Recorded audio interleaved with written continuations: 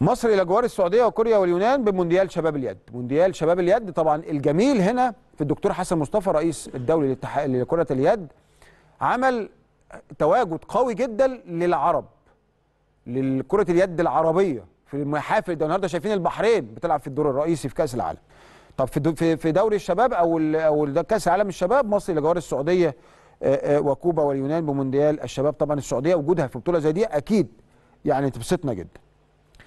البطولة هتتلعب في الفترة من 19 يونيو لحد 3 يوليو اللي جاي وهتكون بتنظيم مشترك بين اليونان وألمانيا. زي ما قلنا لحضراتكم ما عادش في كأس عالم هيبقى أو بطولة عالم لدوله واحدة. كان آخرها مصر.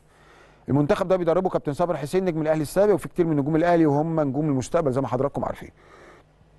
المنتخب بتاعنا كان اتأهل البطولة دي بعد فوز بطوله أفريقيا اللي فاتت واللي كانت في رواندا بعد فوزنا على الجزائر 35 15 الفريق ده في حتة تانية. أنا بقول لكم خليكم فاكرين الكلام ده الفريق ده لما استضفنا ابطاله كاسبين فاينل افريقيا فرق 20 هدف. الفرقة دي تخوف.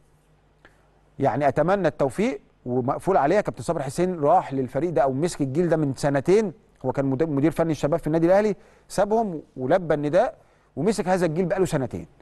سنة أولى آه، استعداد لأفريقيا والسنة الثانية اهو بنستعد بعد أفريقيا لإيه؟ لبطولة العالم. خليكم فاكرين الفرقة دي يعني أنا من وجهة نظري مرشح لميداليه ده. يعني أنا بقول لكم مش كلامي كلا- اللي قريته في الميديا إن الفرقة دي مرشحة لكأس عالم لأن الفرقة دي بسم الله ما شاء الله منهم ثلاثة أربعة مع المنتخب الكبير دلوقتي في في آه، بيلعبوا في السويد وبولندا. فإذا النهارده بنتكلم على ف... على جيل اللي موجودين جامدين ومستقبل كرة اليد. إحنا بنتكلم في 10 سنين قدام وأنت مغمض كده إحنا في أحسن ثمان فرق في المنتخب الكبير في أي بطولة هتتعمل في العالم لم يكن هنفضل هنكون في أحسن أربعة. فأتمنى التوفيق لهذا الفريق وأتمنى التوفيق كمان لكابتن صابر حسين الراجل المخلص المحترم كابتن صابر حسين من أيام ما كان لاعب كان ما تسمعلوش حس كان بتاع شغل وبس. فأتمنى لهم التوفيق ونتمنى التوفيق لاتحاد كرة كرة اليد اللي بيبهرنا الصراحة بالإعداد وبيبهرنا بال- بالشغل. وأنا بشكركم على الصورة اللي ورايا دي الحقيقة لأن أحلى حاجة إن أنت يعني آه، تتابع وتسمع أخبار كرة اليد. خلونا يعني نحب أخبارهم ونسمعهم ولاعيبة بقى نجوم. لعيبة كرة اليد بقى زيهم زي لعيبة كرة القدم دلوقتي.